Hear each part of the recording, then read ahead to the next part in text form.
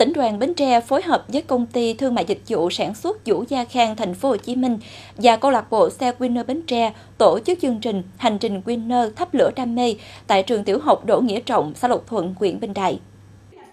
Chương trình đã tặng 300 phần quà gồm ba lô, nón, tập dở, 50 suất học bổng, mỗi suất trị giá 500.000 đồng cho học sinh và thực hiện hai công trình sân chơi thiếu nhi thân thiện với môi trường, hệ thống bồn rửa tay 10 chòi, kèm bản thông tin quy trình 6 bước rửa tay đạt chuẩn của Bộ Y tế, 100 phần xà phòng diệt khuẩn, 500 khẩu trang kháng khuẩn cho học sinh và giáo viên. Tổng trị giá các phần quà trên 170 triệu đồng do công ty Honda Việt Nam và câu lạc bộ xe Winner Bến Tre hỗ trợ.